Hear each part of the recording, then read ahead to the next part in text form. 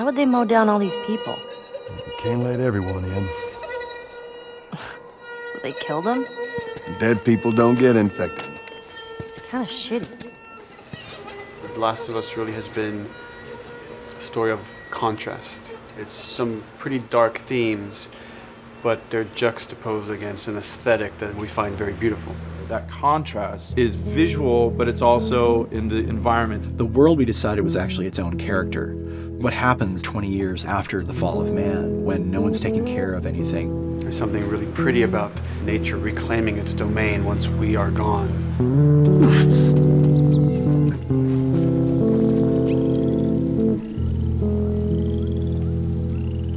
So everything we're doing in the environments is relating back to what you should be feeling in the story or what's happening to these characters. You as a player, you as Joel, you can look at these things and reflect about how much we've built and what we've lost.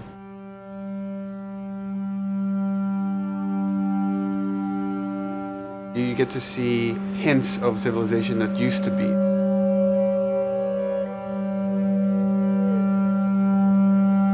Each level has, you know, a lighting artist, a modeler, and a texture artist, and we all work together. Uh, this was the block mesh that they gave me, and it's at the interior of a building.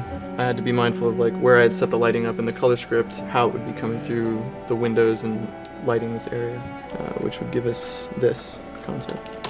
I keep everything on separate layers, so say if they don't want the guys in the concept, I can take them out, or if they don't want the closet there, like I can take that out really easily. Keep everything like uh, really flexible. Well, Naughty Dog, we really try to cultivate a culture where anybody is encouraged to criticize anybody else's works. And we find that the more we do that, the better the game gets. We don't have a lot of meetings because most of the meetings are you and two other people hanging out at somebody's desk. If you need something to get done, you just go find that person and you talk to them about it. So, dude, I was actually trying to figure out right here, there should probably be some dead foliage.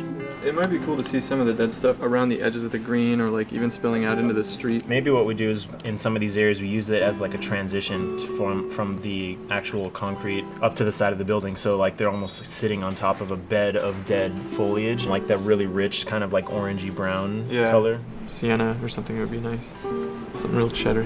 That's how you know you're done. The end product often ends up being stronger because that bouncing back off somebody else gives you a result that maybe you wouldn't have even thought of in the first place.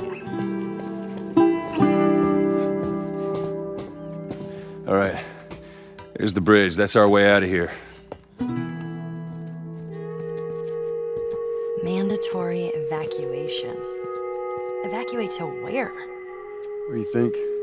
Quarantine zone. See, some places got a heads up before the infection showed up. Most didn't. We consciously take in consideration uh, lighting in the beginning. I've never ever focused so much on lighting and how much, much sensitivity there is to that here. Did Did you talk to the character artist about her hand? So her face is getting a lot of spec, but then her arm is just like bone dry. You think something we can tweak in shader? We'll have to send back to uh, character team Michael to take a look. I can play with the lights and see if that's creates more like spec. Yeah. So all the characters cast soft shadows onto the environment. Even when there is no direct sunlight or no direct light sources, we still have nice fuzzy shadows. Damn, that's quite a drop. If you shine a light on a red wall, it will bounce the red lighting on the whole environment, making it red. Everything should have a bounce lighting. Otherwise, the world is gonna feel dry and unrealistic.